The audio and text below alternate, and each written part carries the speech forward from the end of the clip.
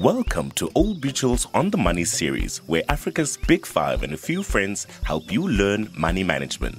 All the animals here have grown up with different attitudes about money, and today we will see how Olivia Ostrich handles her finances, as well as what we can learn from her situation. Olivia Ostrich has a few financial problems she needs to take care of, but rather than dealing with them, she feels scared and would rather avoid looking at her financial status as long as possible. When the bills rain so much heavily, it's better to hide.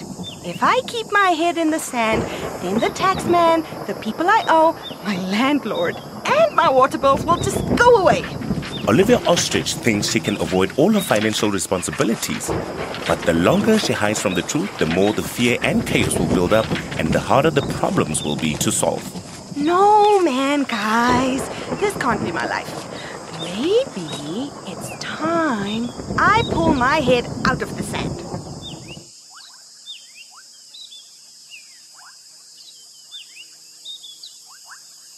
Anakam! You can make your problems go away just by facing them head on? Hmm, who knew?